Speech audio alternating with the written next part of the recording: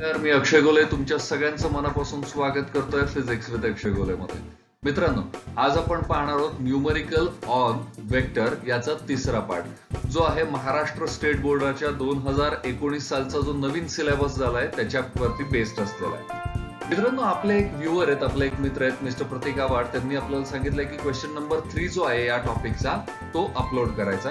मित्र प्रतीक आपला हा जो व्हिडिओ आहे क्वेश्चन नंबर थ्रीचा तो ऑलरेडी शूट झालेला आहे तो पाईपलाईन मध्ये तो जास्तीत जास्त या वीक एंड पर्यंत म्हणजे नेक्स्ट संडे पर्यंत आपल्या भेटीला नक्की येईल. आपण जर या आधीचे न्यूमरिकल पाहिलेले नसतील तर इथे वरती दिलेल्या आय बटन वरती डेफिनेटली क्लिक करा. आपण जर या चॅनल वरती नवीन असाल तर या चॅनलला सबस्क्राईब करायला विसरू नका. चला पाहूया आजचा पहिला क्वेश्चन काय? सो आजचा आपला प्रश्न काय? आजचा आपला प्रश्न आहे if V one bar is equal to two I cap minus three J cap and V two bar is equal to minus six I cap plus five J cap then determine the magnitude and direction of V one bar plus V two bar so आपल्याला काय काय दिलंय? आपल्याला दिलंय V one बार दिलेला आहे आपल्याला V two बार दिलेला आहे त्याच्या व्हॅल्यूज दिलेल्या आहेत आणि आपल्याला तो V one bar plus V two bar जो आहे म्हणजे त्यांचा रिझल्टंट वेक्टर जो आहे सो त्याची फक्त मॅग्नेट्यूडच नाही फाइंड आउट करायची तर आपल्याला त्याची डायरेक्शन पण फाइंड आउट करायची आहे. जो आपण ते डायरेक्शन तर फाइंड आउट करूच या मॅग्नेट्यूड पण फाइंड आउट करूयात पण त्याच्या आधी हा जो कॅप आहे ना म्हणजे I cap J cap so हा जो कॅप हे जे नोटेशन आहे ना हे काय रिप्रेझेंट करतं? सो हे जे कॅप नोटेशन जे आहे ते रिप्रेझेंट करतं की तो जो दिलेला वेक्टर आहे तो युनिट वेक्टर आहे. म्हणजेच त्याचा जो मॅग्नेट्यूड आहे तो मॅग्नेट्यूड वन युनिट एवढा असणार आहे. तो चला बघूयात हा सॉल्व्ह कसा करायचा. आपल्याला V one bar plus V two bar find out करायचा आहे so V one bar plus V two bar आपल्याला असं फाइंड आउट करता येईल की two I cap minus three J cap plus minus six I cap plus five J cap so यातल्या ज्या I captcha ज्या व्हॅल्यू आहेत ते एका साईडला घेऊयात जे कॅपच्या व्हॅल्यू एका साईडला घेऊयात. So will get v bar is equal to v1 bar plus v2 bar which is equal to minus 4 i cap plus 2j cap.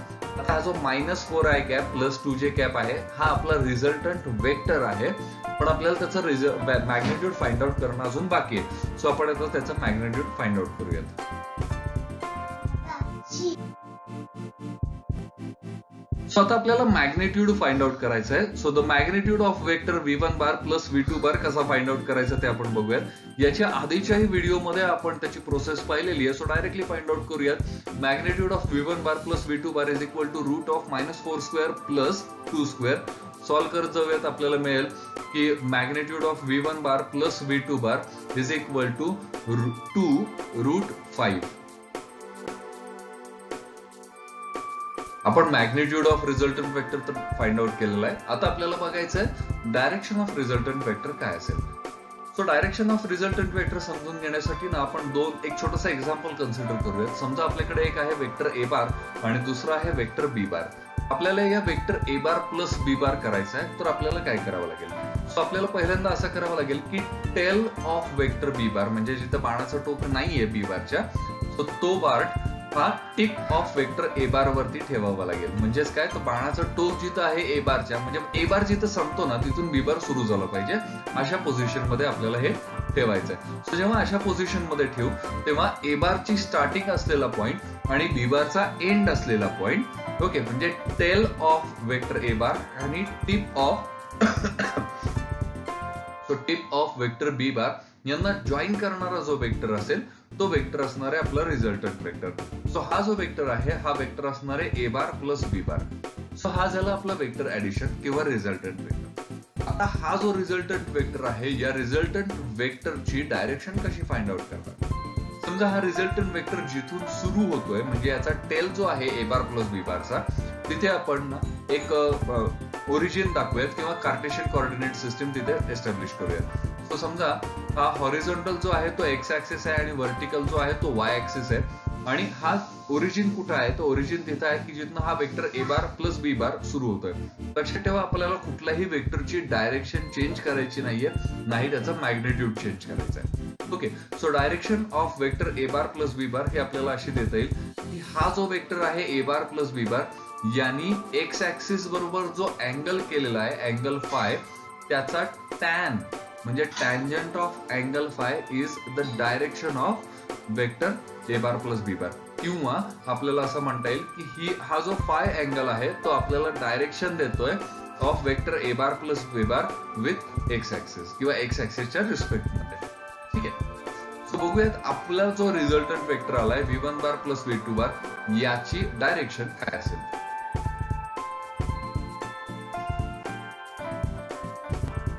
So आपल्याला आता फाइंड आउट करायचं direction of resultant vector so direction of resultant vector आताच आपण बघितलं तो असतो tan of phi पण tan of phi म्हणजे काय? तर tan of phi is nothing but slope of that vector correct आहे? म्हणजेच slope of weber fine so आपल्याला हे माहिती असेल की स्लोप ऑफ वेबर काय असतो? आठवत स्लोप ऑफ वेबर असतो delta Y upon delta X म्हणजेच Y two minus Y one upon X two minus X Y ठीक आहे? आता आपल्या रिझल्टच्या बाबतीमध्ये म्हणजे जो वेक्टर आहे व्ही बार याचा डेल्टा वाय आणि डेल्टा एक्स कसा फाइंड आउट करायचा? आठवत आपला वेक्टर आहे V bar is equal to minus four I cap plus two J cap आता याचा जो कोइफिशियंट आहे आयचा जो कोइफिशियंट आहे तो आहे मायनस फोर तो असणार आहे आपला डेल्टा एक्स आणि जेचा जो कोइफिशियंट आहे प्लस टू तो असणार आहे आपला डेल्टा वाय सो आपला टॅन ऑफ फाय ची जी व्हॅल्यू येणार आहे ती येणार आहे two upon minus four which is equal to minus one upon two म्हणजेच फाय असणार आहे की tan inverse of minus one upon two so आपल्याला रिझल्ट मिळालेला आहे. सो आपला रिझल्ट आहे therefore the magnitude of resultant vector is two root five units आणि the direction of the resultant vector is pi is equal to tan inverse of minus 1 upon 2 with x-axis. So मित्रांनो आजचा video आपल्याला कसा वाटला हे आम्हाला नक्की सांगा. नेक्स्ट व्हिडिओ आपण कुठल्या न्यूमरिकल वर बनवायचा हे खाली कमेंटमध्ये नक्की लिहून पाठवा. लाईक करा शेअर करा. आणि हो सबस्क्राईब करायला विसरू नका. तर चला भेटूयात पुढच्या व्हिडिओमध्ये